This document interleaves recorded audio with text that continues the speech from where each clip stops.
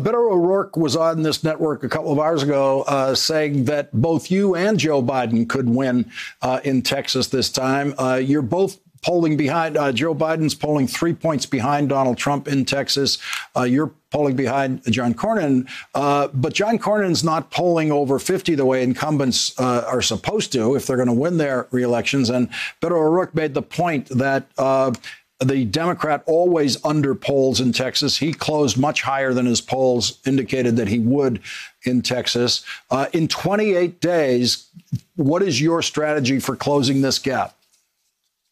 The more people learn about John Cornyn and his actual record, not his pretty words that he says he wants to support, but his actual voting record, um, the lower his approval rating goes, the the, the better we get. I mean, the, the higher uh, we go in the polls. But frankly, people in Texas are not going to vote for me just because I'm not John Cornyn. So it's really important that I get out there. I was raised here in very rural Texas. Um, it's important that I get there and talk to Texans about what my vision is for the state because I have built that vision through a lifetime of living in Texas and through campaigning in every corner of the state and talking to people who are facing the challenges of regular working everyday Texans. And so my vision for this state, my plan for this state, my values are more closely aligned with this state and with the people here than John Cornyn's lack of action and his really terrible voting record. And so the more uh, people learn about this race, and we have a debate coming up on Friday, that's going to be a great opportunity for that. Um, we feel strongly like we're going to be able to close the gap because there's still a huge undecided factor. Because again, I have to earn people's vote here in Texas. They're not going to just vote for me because I'm not him.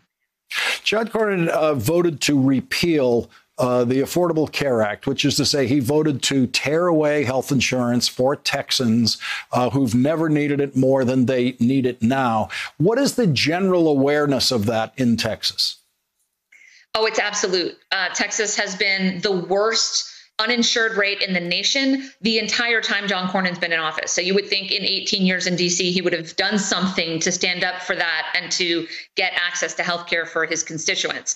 Um, we had one out of five of us without access to health care before this pandemic. And now, in the middle of a healthcare crisis, we have one out of three working age adults don't have access to health insurance in the middle of a pandemic.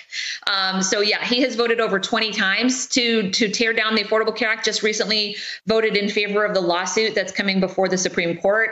Um, he pretends like he wants to protect pre-existing conditions, but the Protect Act that he is touting as the replacement for the Affordable Care Act um, would actually keep insurance agencies from being able to deny coverage for a pre-existing condition, but they can deny coverage for that pre-existing condition and anything that interacts with it, which if you have a pre-existing condition basically everything you need coverage for is going to have something to do with that. So if people are in the hospital recovering from covid with an underlying hypertension or diabetes or something then their insurance agencies can can deny coverage for that. People just need to pay attention to what's going on and i think that texans are paying attention and our access to healthcare is the number one thing that i hear about on the campaign trail and more and more texans every day know john cornyn is fighting to rip that protection away